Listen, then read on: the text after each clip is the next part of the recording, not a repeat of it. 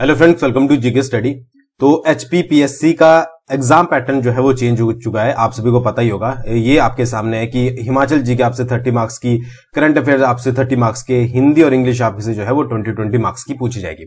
अच्छा मैक्सिमम लोगों ने अब जो है वो तैयारी शुरू कर दी होगी। ठीक है, क्योंकि पेपर वन भी होना है आपका और पेपर टू भी होना है। एक ही दिन में आपके दोनों जो है वो पेपर कंडक्ट करवाए जाएँगे। प्लस आपकी नेगेटिव मार्किंग भी है तो आपको अच्छे से जो है वो तैयारी करनी पड़ेगी। बट फिर भी कुछ बच्चों को जो है वो कंफ्यूजन है कि भाई कौन कौन से टॉपिक जो है वो पहले कवर किए जाए।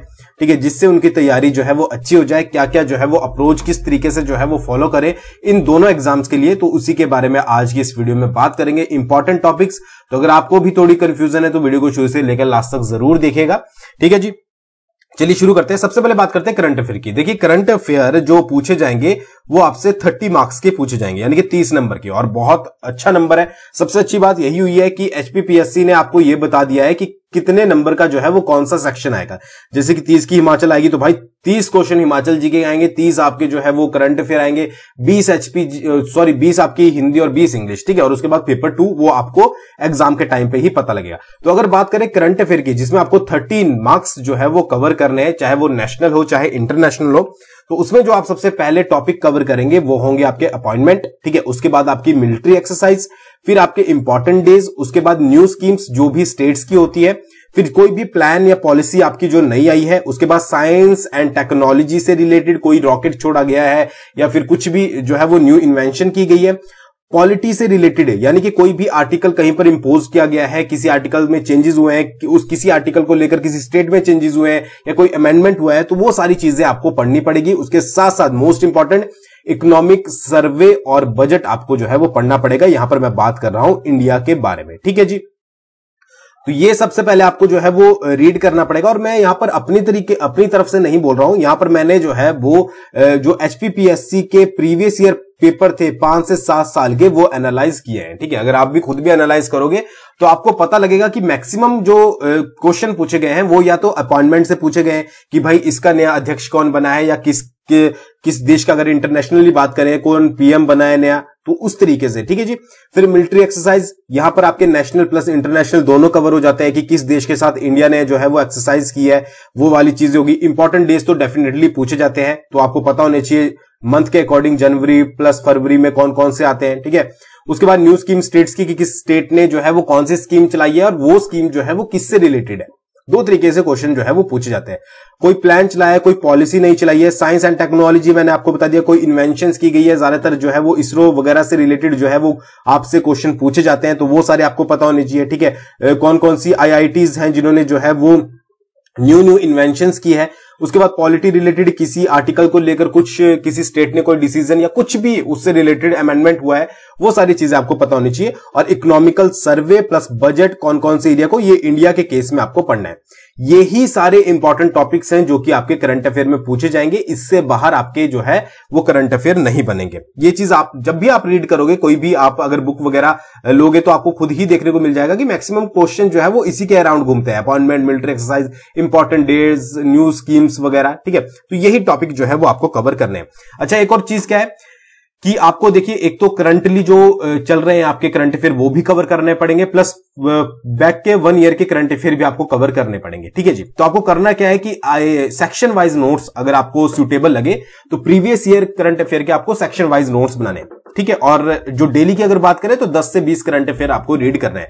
ये दो चार बच्चों ने मुझसे पूछा भी था पर्सनली मैसेज करके कि जो करंट अफेयर है, उनको किस तरीके से अप्रोच किया जाए? तो उनके लिए यही आंसर है कि जो प्रीवियस ईयर मान लीजिए आप एक साल के लिए प्रिपेयर कर रहे हो, ठीक है, एक साल का पिछला तो आपको पढ़ना ही पड़ेगा तो उसमें सेक्शन डिवाइस डिवाइड कर लीजिए। फॉर एग्ज़ाम्पल आप अपॉइंटमेंट देख लीजिए कि भाई जो 2022 की अपॉइंटमेंट थी वो कौन कौन सी है? यानी कि 2022 में कौन कौन जो है वो इंपॉर्टेंट पोजीशन पर अपॉइंट हुए हैं। उसका एक नोट्स बना लीजिए, ठीक है? फिर मिलिट्री एक्सरसाइज देख लीजिए 2022 की, कि कौन कौन सी किस किस के देश के बीच में और कहाँ पर जो है वो हुई थी। इसी तरीके से जो प्रीवियस ईयर के हैं, वो आप अगर सेक्शन वाइज बनाकर चलोगे कि अपॉइंटमेंट्स फिर मिलिट्री एक्सरसाइज इंपॉर्टेंट डेज़ तो आपके लिए जो है वो ज़्यादा बेनिफिशियल रहेगा।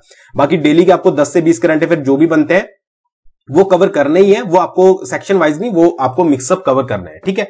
तो इस तरीके से आपको करंट अफेयर पढ़कर चलना है, ठीक है? ताकि आपको पता है कि तीस नंबर जो है वो बहुत इंपॉर्टेंट रोल प्ले करेंगे तो थर्टी मार्क्स जो है वो आपको कवर करना है। ये चीज़ याद रखिएगा।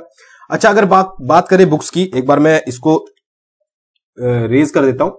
तो बुक्स की अगर बात करें तो सबसे पहली, देखिए, आप कोई भी मैगजीन फॉलो कर सकते हो तो प्रतियोगिता दर्पण मैं आपको सजेस्ट कर रहा हूँ। ऑनलाइन और ऑफलाइन दोनों आपको मिल जाती है। ऑनलाइन किस तरीके से मिलेगी वो भी मैं आपको बता देता हूँ। प्लस आपके ऑनलाइन सोर्सेज बहुत ज़्यादा है। अगर आप सर्च करोगे डेली के करंट अफेयर तो आपको ऑनलाइन बहुत ज़्यादा मिल जाएँगे। बट फिर भी प्रतियोगिता दर्पण अगर आप डेली पढ़ रहे हो तो डेली आपको जो है, वो ऑनलाइन आपको रीड करने पड़ेंगे। डायरेक्टली सर्च मारिए। बहुत अच्छी अच्छी वेबसाइट्स हैं। एक ही वेबसाइट को जो है वो पर्टिकुलर अपने लिए चूज़ कर लीजिए कि मुझे करंट अफेयर यहीं से पढ़ने फिर यहाँ पर मंथली जो है वो प्रतियोगिता दर्पण आती है, जिसको आप ले सकते हो तो मंथली प्रतियोगिता दर्पण में आपकी जो है वो रिवीजन हो जाएगी, या फिर कुछ ऐसे करंट अफेयर जो कि यहाँ पर आपके स्कीप हो गए हैं, वो भी यहाँ पर जो है वो कवर हो जाएँगे। अच्छा एक तो आपको अगर ऑफलाइन पढ़ना पसंद है तो अपने नजदीकी स्टोर से आप जो है वो परचेज कर सकते हो, प्रतियोगिता दर्पण या फिर कोई भी आप एक्स्ट्रा जो है वो मैगजीन पहले से यूज़ करते हो, वो ले सकते हो। ऑनलाइन की अगर मैं बात करूँ तो प्रतियोगिता दर्पण आपने सुना होगा जियो मैग करके, ठीक है? जियो मैगजीन, जिसको बोलते हैं, जैसे जियो सिनेमा है, जिस पर आप आईपीएल देखते हो तो जियो मैगजीन करके उन्हीं की ऐप है, जिस पर आपको जो है वो प्रतियोगिता दर्पण की सारी बुक्स जो है वो मिलेंगी। बस आप वहाँ पर डाउनलोड नहीं कर सकते, उससे नोट्स आपको वहाँ पर बनाने पड़ेंगे। बट अगर आप परचेज नहीं करना चाहते हो मंथली मंथली तो आप वहाँ से जाकर जो है वो उसको रीड कर सकते हो। तो ये भी रखिएगा। बाकी आप परीक्षा बूस्टर को ज्वाइन कर सकते हो, डिस्क्रिप्शन में मैंने लिंक दे दिया है। वहाँ पर भी हम आपको सिक्सटी सेकंड में जो है वो करंट अफेयर समझा देते हैं तो वो भी आपके लिए बहुत काम आएगा। और फ्री ऑफ़ कॉस्ट है तो आपको जाकर जो है वो ज़रूर सब्सक्राइब कर लेना चाहिए, डिस्क्रिप्शन में लिंक है। जोड़ के रखिएगा ठीक है अपने साथ परीक्षा बूस्टर को, क्योंकि आने वाले समय में बहुत काम आएगा और फिर मैं आपको आने वाले समय में बताऊँगा कि कितने करंट अफेयर वहाँ से पूछे गए थे, क्योंकि मैक्सिमम चीज़ें वहाँ पर इंपॉर्टेंट कवर की जाएगी। बाकी प्रतियोगिता दर्पण मैंने आपको बता दिया और ऑनलाइन सोर्सेज बता दिया। प्रीवियस ईयर के आपको जो है वो सेक्शन वाइज करने हैं और जो डेली है, वो डेली आपको 10 से 20 करंट अफेयर यार, आप चल रहे हो, घूम रहे हो, फिर रहे हो मोबाइल खोलिए, आप वहाँ से रीड कर लीजिए। नोट्स चाहे बाद में बना लीजिए घर आकर, ठीक है? बट आपको कहीं पर भी टाइम लगता है 10 से 20 करंट अफेयर पढ़ लीजिए, किसी के साथ डिस्कस कर लीजिए। इसी तरीके से आपके जो है वो मंथ में बहुत सारे करंट अफेयर तैयार हो गए और अगर आप मंथली पढ़ना सोचोगे तो तीन सौ से पाँच करंट अफेयर हो जाते हैं, वो थोड़ा जो है वो बर्डन टाइप हो जाता है। बट सबसे पहले आपको ये वाले सेक्शन जो है वो कवर करने हैं, क्योंकि एचपीपीएससी ने प्रीवियस ईयर में इन्हीं से ही जो है वो करंट अफेयर पूछे तो ये तो हो गया भाई करंट अफेयर का ज़्यादा आपका टाइम वेस्ट नहीं करेंगे। आगे बढ़ते हैं। अगली जो है वो हिमाचल जी के थर्टी मार्क्स की। पहले क्या होता था, जब एचपी एसएससी पेपर लेता था तो आपको ये पता नहीं होता था कितनी जो है वो एचपी जी के आपसे पूछी जाएगी बट जो आपका ज़्यादातर होती थी वो एचपी की ही होती थी बट आपको क्लियरिफाई कर दिया गया कि थर्टी नंबर की एचपी जीके आपसे पूछी जाएगी। अब इसमें कोई मैं डिटेल में नहीं बताऊँगा, इसमें आपको सिंपल सा बताया हिस्ट्री ज्योग्राफी पॉलिटी इकोनॉमी और जो आपकी इकोनॉमिकल सर्वे प्लस बजट है, इससे करंट अफेयर बनेंगे इकोनॉमिकल सर्वे प्लस बजट ये आप जो है वो ज़रूर कर लीजिएगा, इसको मैं स्टार मार्क कर लेता हूँ। ठीक है हिस्ट्री में आपको पता ही है कि क्या क्या करना है ज्योग्राफी में, चोटियाँ वगैरह, सब कुछ आपको कवर करना है, ठीक है पॉलिटी में, ठीक है क्या क्या पॉलिटिकल जो हिस्ट्री रही है हिमाचल प्रदेश की और इकोनॉमी में क्या क्या कल से जो है वो क्लासेस शुरू हो रही है, बहुत सारा गैप पड़ चुका है। किसी ज़रूरी काम से बट कल से जो है वो डिटेल क्लासेस शुरू हो रही है। तो अगर आप हिमाचल जी के थर्टी मार्क्स की अच्छे से प्रिपेयर करना चाहते हो, ठीक है तो आपको जीके स्टडी के साथ जुड़े रहना है। कल से क्लासेस शुरू हो जाएँगी। डिटेल में आपको जो है वो समझाया जाएगा, करवाया जाएगा। उसके बाद जो है वो हम एमसीक्यूज भी कवर करेंगे। तो ये चीज़ याद रखिएगा, ठीक है। सबसे पहले बेटर आपके ये, लिए ये रहेगा कि अगर आप खुद से तैयारी कर रहे हो तो 12 डिस्ट्रिक्ट्स आपको जो है वो कवर करनी है। अगर आप ये 12 डिस्ट्रिक्ट्स सबसे पहले कवर करते हो तो आपका अप्रोक्स 90 परसेंट सिलेबस जो है वो कवर हो जाएगा। क्योंकि अगर आप मान लीजिए चंबा पढ़ते हो, चंबा डिस्ट्रिक्ट पढ़ रहे हो तो आप क्या कर रहे हो? आप उसकी जियोग्राफी भी पढ़ रहे हो, आप उसकी हिस्ट्री भी पढ़ रहे हो, आप उसकी इकोनॉमी भी पढ़ रहे हो, ठीक है? उसके अलावा कौन कौन से टेंपल वहाँ पर है, ठीक है? जो आपकी जल विद्युत परियोजना कौन कौन सी है तो ऑटोमेटिकली आप क्या कर रहे हो? हिस्ट्री भी कवर कर रहे हो ज्योग्राफी भी पॉलिटी भी इकोनॉमी भी, ठीक है? तो ये सारी चीज़ें कवर हो रही है।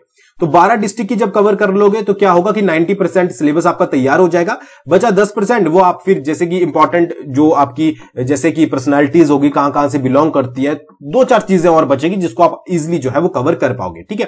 तो ये चीज़ आपको जो है वो याद रखनी है। और हाँ इकोनॉमिकल सर्वे प्लस बजट मैंने आपको पहले भी बताया जो भी एचपी के करंट अफेयर बनेंगे, वो इकोनॉमिक सर्वे से प्लस बजट से आपके बनेंगे, ठीक है? ये मत सोचिएगा कि आप अमर उजाला पढ़ लेते हो, या फिर आप दिव्य हिमाचल पढ़ लेते हो, या फिर आप गिरिराज पढ़ लेते हो तो वहाँ से आपके करंट अफेयर पूछे जाएँगे। ऐसा बिल्कुल भी नहीं होने वाला है। जितने भी करंट अफेयर बनेंगे, वो आपके इकोनॉमिकल सर्वे प्लस बजट से यहाँ पर बनेंगे। तो इकोनॉमिकल सर्वे कौन कौन सा बजट किस किस मतलब की एरिया को दिया गया है इकोनॉमिकल सर्वे में क्या क्या किया गया है, वो सारी चीज़ें आपको कवर करनी है, ठीक है? और बाकी 12 डिस्ट्रिक्ट करोगे तो यहाँ पर आपकी automatically history geography polity economy cover होती चलेगी। क्या करना है? पहले बेसिक हिमाचल जी के पढ़ लेनी है, बाकी कल से क्लासेस कर रहे हैं। अगर आप हमारे साथ जुड़ोगे डिटेल में फ्री ऑफ़ कॉस्ट है यूट्यूब पे आएँगी तो उसमें ऑटोमेटिकली आपकी कवर हो ही जाएँगी। ठीक है जी? उसके बाद बुक्स की अगर बात करें तो हिमाचल दर्पण आप फॉलो कर सकते हो। सफिशियंट है हिमाचल दर्पण अगर आप फॉलो कर रहे हो। अगर आप हिमाचल दर्पण के अलावा कोई और बुक फॉलो कर रहे हो तो वो भी आपकी इन एग्ज़ाम्स के लिए सफिशियंट है। द वंडरलैंड हिमाचल प्रदेश पढ़ने की आपको अभी फ़िलहाल के लिए ज़रूरत नहीं है। हाँ अगर आपने हिमाचल दर्पण आपके टिप्स पर याद है, ठीक है, कि हाँ मुझे अच्छे से आती है तो आप जाकर जो है द वंडरलैंड हिमाचल प्रदेश पढ़ सकते हो। बट हिमाचल दर्पण बहुत सफिशियंट है। आपको यहाँ पर टॉपिक वाइज भी मिल जाता है प्लस एमसीक्यूज भी मिल जाता है। कोई और बुक फॉलो कर रहे हो तो वो भी ठीक है। बट मुझे ये पर्सनली इसलिए अच्छी लगती है क्योंकि इसमें थोड़ा अच्छे से जो है वो समझाया गया मेक यूर ऑन एमसीक्यूज देखिए, जब भी आप डिटेल में पढ़ लो तो कोशिश कीजिए, जैसे मैं फॉर एग्जांपल कल आपके लिए वीडियो लेकर आऊँगा तो जो भी मैं डिटेल में पढ़ाऊँगा आपको, ठीक है तो मैं भी कोशिश करूँगा कि उसके लास्ट में मैं खुद से बनाकर आपके लिए एमसीक्यूज लेकर आऊँ, या फिर आपके पास इतना टाइम हो तो आप खुद से एमसीक्यूज बनाएँगे। इससे होगा क्या कि आपकी बहुत ज़्यादा हेल्प होगी बहुत ज़्यादा आपको जो है वो याद रहेगा, क्योंकि आपको खुद से याद रहेगा कि मैंने इसके लिए जो है वो खुद से एमसीक्यूज प्रिपेयर किए थे।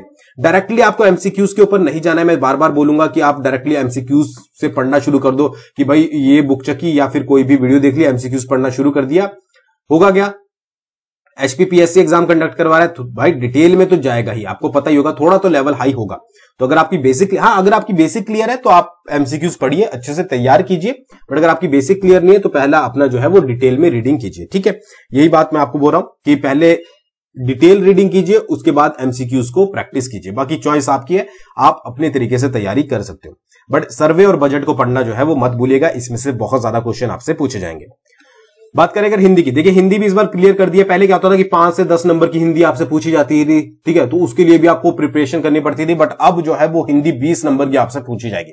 जो कि अच्छा एक स्कोरिंग साइड है, अगर आप स्कोर अच्छा करना चाहते हो, क्योंकि हिंदी में जो है वो कुछ चुनिंदा टॉपिक हैं, जिनके बारे में मैं आज आपको बता दूँगा। इन टॉपिक से बाहर आपसे क्वेश्चन नहीं पूछा जाएगा। इतने टॉपिक कवर कर लीजिए, एक टॉपिक पर तीन दिन दिन भी लगाओगे वन मंथ के अंदर आप कंप्लीट हिंदी टिप्स पर याद कर लोगे।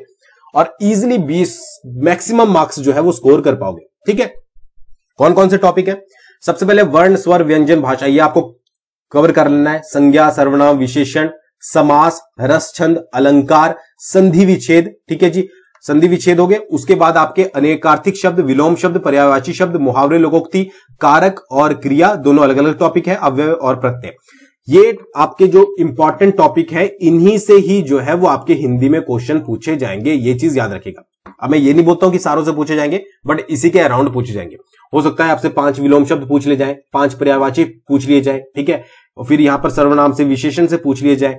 तो ये आपको अच्छे से टिप्स पर याद होनी चाहिए। जैसे कि संज्ञा कि भाई, किसी संज्ञा की भाववाचक संज्ञा बताओ, ठीक है? इसकी भाववाचक संज्ञा क्या होती है? तो अच्छे से तैयारी होनी चाहिए आपकी। ये बाद में आप ये ना बोले कि भाई, मुझे संज्ञा पढ़ी थी, ये मुझे पढ़ा हुआ नहीं आया। संज्ञा आपको पता होना चाहिए कि किस तरीके से कोई व्यक्तिवाचक उसको भाववाचक कैसे बनाना है, किस तरीके से जो है वो संज्ञा को कन्वर्ट करना है, या सर्वनाम क्या होते हैं, या विशेषण क्या होते हैं, ठीक है? संधि विच्छेद किस किस टाइप के होते हैं, ठीक है? उपसर्ग जब लगती है तो किस तरीके से उसको चेंज किया जाता है?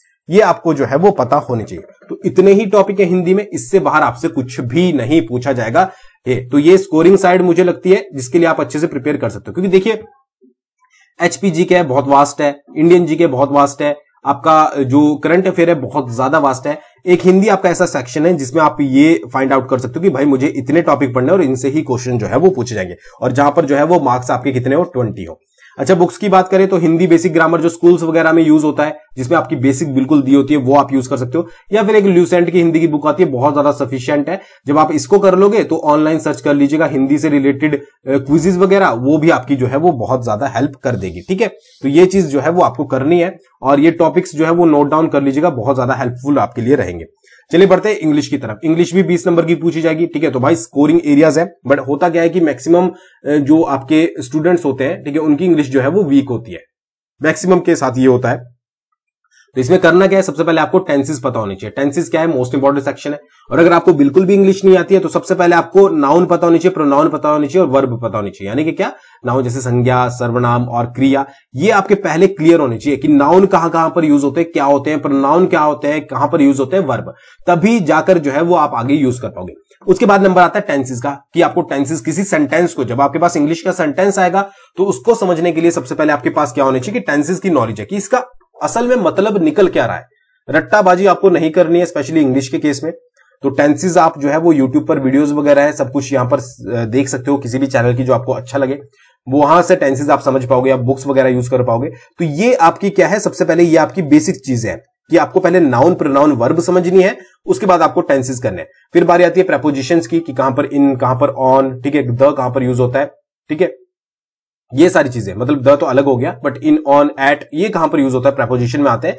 तो ये मोस्ट इंपॉर्टेंट है, जिनसे सबसे ज़्यादा क्वेश्चन जो है वो एग्जामिनेशन में बनते हैं। उसके बाद एंटोनिम सिनोनिम डेली आपको 10 10 करने हैं एंटोनिम सिनोनिम 10 10 करोगे तो ही जाकर जो है वो कवर होगा। एग्जैक्टली आप बहुत सारे जो है वो एक साथ कवर नहीं कर सकते, या तो आप रूट पढ़ते हो तो आप उसके थ्रू कवर कर सकते हो बट इतना ज़्यादा डिटेल में नहीं जाना है। तो एंटोनिम सिनोनिम ये है कि आप दस दस करके कवर कर लीजिए कोशिश कीजिए अपनी आदत बढ़ाइए कि भाई मुझे जो है वो दस दस वर्ड मीनिंग जो है वो डेली सीखने फिर वन वर्ड सब्सिट्यूशन इंपॉर्टेंट है, उसके बाद एक्टिव पैसिव वॉइस ये वैसे पूछा तो आज तक नहीं गया है बट एचपीपीएससी है, कुछ भी पूछ सकता है तो ये सारे टॉपिक आपको जो है वो इंग्लिश में करना है।